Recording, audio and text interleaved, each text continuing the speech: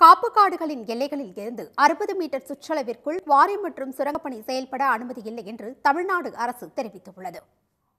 இத்தொடர்பாக நீர்வளத்துறை அமைச்சர் துரைமுருகன் வெளியிட்டுள்ள அறிக்கையில் தமிழ்நாடு சிறு கனிம சலுகை விதிகளில் கொண்டுவரப்பட்ட புதிய விதி காரணமாக காப்பு காடுகள் அமைந்துள்ள பகுதிகளின் எல்லையில் இருந்து ஒரு கிலோமீட்டர் சுற்றளவிற்குள் அமைந்துள்ள குவாரிகள் சுரங்கங்கள் மற்றும் கல் அரவை ஆலைகளில் பணிகள் பாதிக்கப்படுவதாக குவாரி உரிமையாளர்கள் பலமுறை நேரில் சந்தித்து முறையிட்டு வந்ததாக தெரிவிக்கப்பட்டுள்ளது.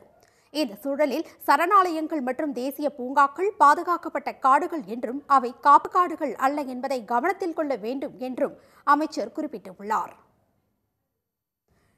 எனவே காப்பு காடுகளுக்கு அருகில் உள்ள பட்டா மற்றும் அரசு புறம்போக்கு நிலங்களில் புதியதாக கனிமம் வெட்டி எடுப்பதற்காக குவாரி மற்றும் சுரங்க குத்தகை உரிமம் வழங்கும் போது காப்பு காடுகளின் எல்லைகளில் இருந்து அறுபது மீட்டர் சுற்றளவிற்குள் குவாரி மற்றும் சுரங்கப்பணி மேற்கொள்ளக்கூடாது என்ற நிபந்தனையுடன் உரிமம் வழங்கப்படும் என்றும்.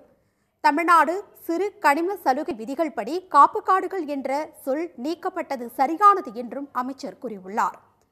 ஆயிரத்து தொள்ளாயிரத்து ஐம்பத்தி ஒன்பது முதல் இரண்டாயிரத்து இருபத்தி ஒன்று வரை விதி திருத்தத்திற்கு முன்பு இருந்த காப்பு காடுகளுக்கான பாதுகாப்பு இடைவெளியே பின்பற்றப்படும் என்றும் அமைச்சர் துரைமுருகன் தெரிவித்துள்ளார்.